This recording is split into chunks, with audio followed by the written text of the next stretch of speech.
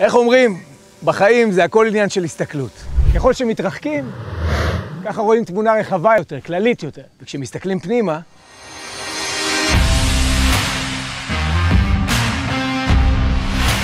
אי שם בירושלים של המאה ה-16, אליהו הנביא מתגלה לרבי שלמה לוריה. הוא מבשר לו שעומד להיוולד לו בן, שיביא אור גדול לעם ישראל ולעולם כולו.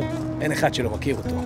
יצחק בן שלמה לוריה, הארי הקדוש. יצחק הקטן כבר בגיל שמונה הפך יתום מאבא, ואחרי תקופה לא פשוטה בה אמו ניסתה להחזיק את הבית בכוחות עצמה, נאלצה לרדת איתו למצרים ולהתגורר אצל אח שלה. במצרים יצחק משקיע, גדל ומתעצם בתורת הנגלה והנסתר, עד שמגיע הרגע בו הוא סוף סוף זוכה לגילויו של אליהו הנביא.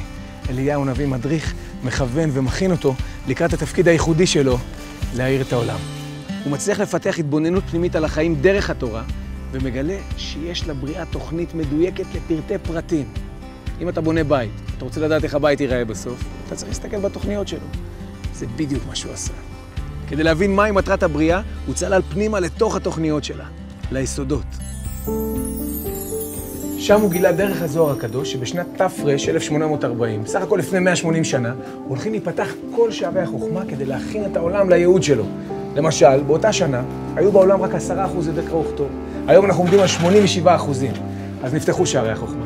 ברפואה, במדע, בתרבות, בטכנולוגיה. אפילו הסרטון שאתם רואים עכשיו היה מדע בדיוני רק לפני כמה עשרות שנים. וכל זה כדי להביא אותנו לעולם טוב יותר. לעולם מתוקן. אנחנו יכולים לראות בוודאות איך העולם הולך למקום הזה. העבדות כבר כמעט שלא קיימת, המדינות העריצות הולכות ופוחתות, המדינות הדמוקרטיות הולכות ועולות, הסכמים של פירוק נשק, ביולוגי, גרעיני, כימי, הכל הולך לשם. ומה שלא, זה רק כי היעד עדיין לא מספיק ברור. דמיינו שאתם נכנסים לרכב ואין לכם מושג לאן אתם נוסעים. מתחיל בנסיעה. הרי אם היה ברור לכולנו לאן אנחנו צריכים להגיע, היה הרבה יותר קל. בשביל להבין את המטרה הזאת, אנחנו צריכים לצאת בזום אאוט ולראות את התמונה הרחבה. כמו לוויין שרואה הכל מלמעלה, ככה הארי עזר לנו לפתח את ההסתכלות הרחבה על המציאות. הגעת ליעד. כנראה שבגלל זה הארי הקדוש, רבי יוסף קארו וכל חבורת המקובלים החליטו לעלות לארץ ישראל 300 שנים לפני העלייה הראשונה. שמעתם טוב, לפני העלייה הראשונה. ככה זה כשהיעד ברור.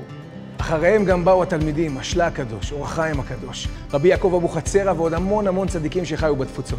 גם האגרא והבעל שם טוב ניסו להגיע בזמנו, וכשלא הצליחו, שלחו את התלמידים שלהם. כל מי שהבין לאן אנחנו הולכים והייתה לו את האפשרות, עזב את הגלות ועלה לארץ ישראל. אפשר להגיד שבזכותם אנחנו כאן. הארי הקדוש המשיך בכל הכוח ולא נח לרגע. הוא רצה לשנות כאן משהו מהותי, משהו בהסתכלות שלנו על החיים, בתפיסה. הוא הצליח לשלב בין יכולת נדירה להציץ פנימה, אל היעד, אל הקודש, לבין ההסתכלות הרחבה מלמעלה על המטרה האמיתית שבגללה אנחנו כאן. כשהגיע לגיל 38 פרצה מגפה גדולה בגליל, עוד הרבה לפני שהקורונה הייתה פה. הארי הקדוש חלה במגפה, וככה, כשהוא צעיר בשנים וזקן בחוכמה, ה' באב של"ב, רבנו הקדוש, רבי יצחק בן שלמה לוריה, עלה לגנזי מרומים. כאן על המצבה שלו בבית העלמין העתיק בצפת, כתוב המשפט האהוב עליי ביותר. הריני מקבל עליי מצוות עשה של ואהבת לרעך כמוך.